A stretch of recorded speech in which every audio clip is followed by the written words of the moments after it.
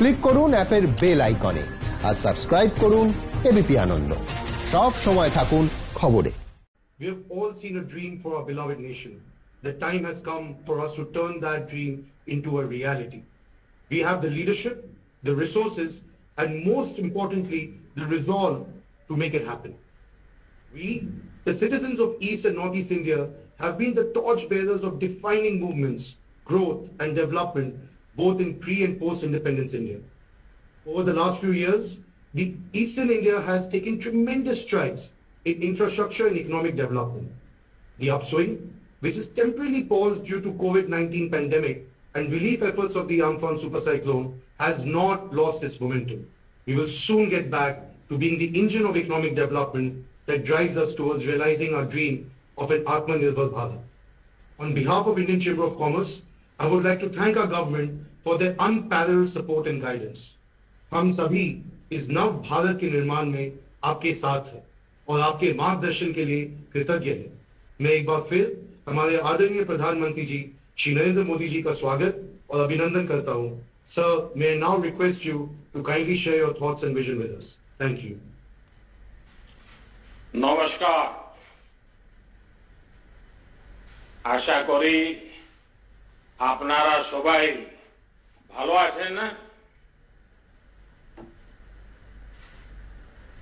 Ninety five वर्ष से निरंतर देश की सेवा करना। किसी भी संस्था या संगठन के लिए अपने आप में बहुत बड़ी बात होती है। आईसीसी ने पूर्वी भारत और नॉर्थ ईस्ट के डेवलपमेंट में जो कंट्रीब्यूशन दिया है, विशेषकर वहाँ की मैन्युफैक्चरिंग यूनिट्स को, वह भी हिस्टोरिकल है। आईसीसी के लिए अपना योगदान देने वाले आप सभी को इन पचानवे वर्ष में जिन जिन महानुभावों ने योगदान दिया है, उस प्रत्येक महानुभाव का मैं अभिनंदन करता हूँ। साथियों, आईसीसी ने 1925 में अपने गठन के बाद से आज़ादी की लड़ाई को देखा है। उस लड़ाई को जिया है। सरकारों से मुसीबतें भी झेली है।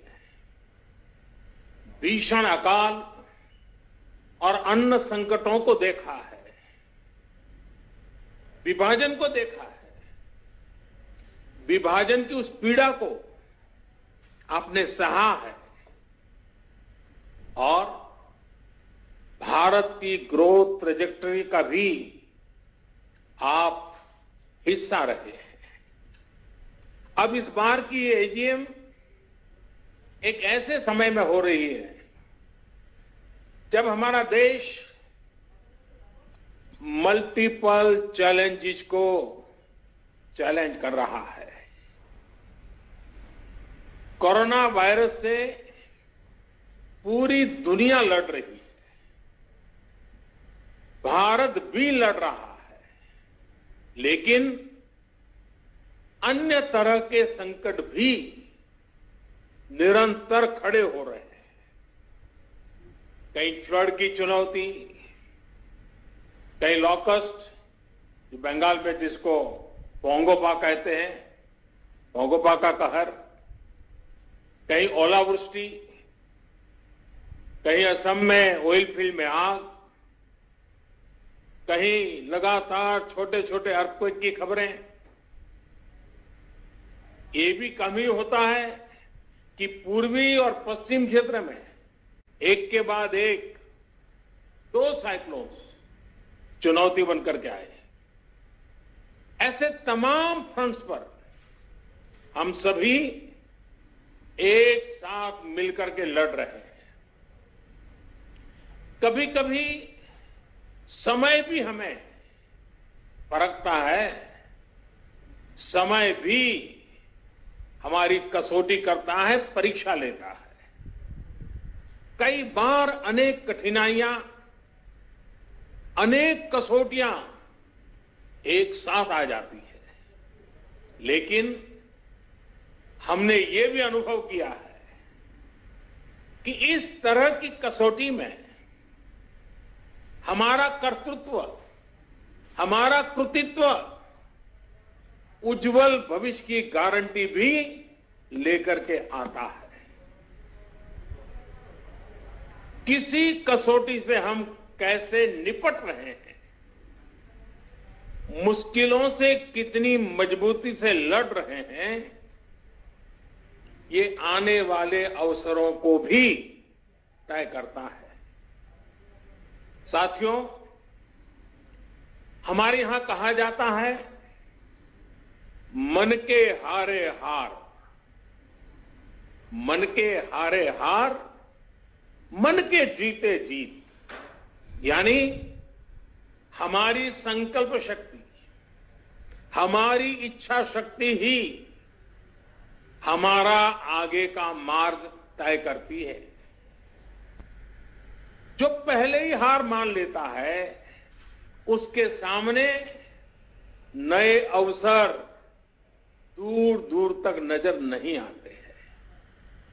लेकिन जो जीत के लिए निरंतर प्रयास करता है एक दूसरे का साथ देते हुए आगे बढ़ता है। उसके सामने नए अवसर भी उतने ही ज़्यादा आते हैं और अवसर भी सामने चले आते हैं। साथियों, ये हमारी एकजुटता, ये एक साथ मिलकर बड़ी से बड़ी आपदा का सामना करना ये हमारी संकल्प शक्ति, ये हमारी इच्छा शक्ति, हमारी बहुत बड़ी स्ट्रेंथ है। एक राष्ट्र के रूप में हमारी बहुत बड़ी ताकत है। मुसीबत की दवाई, मुसीबत की एक ही दवाई है। मुसीबत की दवाई मजबूती है। मुश्किल समय ने हर बार भारत के डिटर्मिनेशन को अधिक स्ट्रेंथन किया है। एक नेशन के रूप में देशवासियों के रिजॉल्व को ऊर्जा दी है, संकल्प को शक्ति दी है। यही भावनाएँ आज आईसीसी के आपके मेंबर के चेहरे पर भी और देशवासियों के चेहरे पर भी मैं देख सकता हूँ, मैं पढ़ सकता हूँ। करोड़ों देशवासियों के प्रयासों में मैं एक नई आशा देख सकता हूँ, नया विश्वास देख सकता हूँ।